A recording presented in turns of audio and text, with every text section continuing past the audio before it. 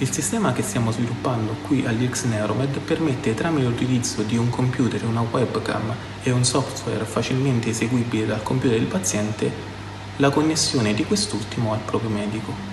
Il software è in grado di inviare il flusso video della webcam del paziente ai nostri server che si occuperanno dell'estrapolazione della sagoma di quest'ultimo e del calcolo del suo scheletro per la quantificazione dei movimenti.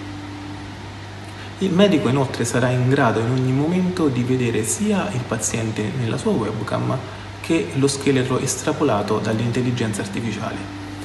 Quest'ultimo renderà possibile al medico un'analisi quantitativa della terapia del paziente per capire se i movimenti sono effettuati in maniera esatta o bisogna agire in qualche modo sulla terapia già data al paziente.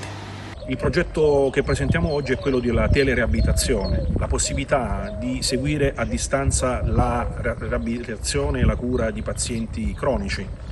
L'obiettivo è chiaramente quello di garantire la continuità di cura, mettere al centro dell'attenzione il paziente e soprattutto la sua famiglia.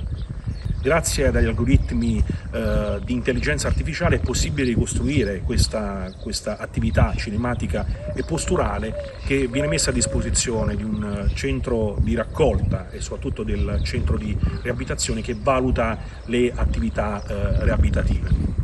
Questo sistema quindi sarà possibile continuare a garantire attività di riabilitazione e cura anche di pazienti eh, che continueranno a essere a casa eh, in seguito all'emergenza nazionale Covid.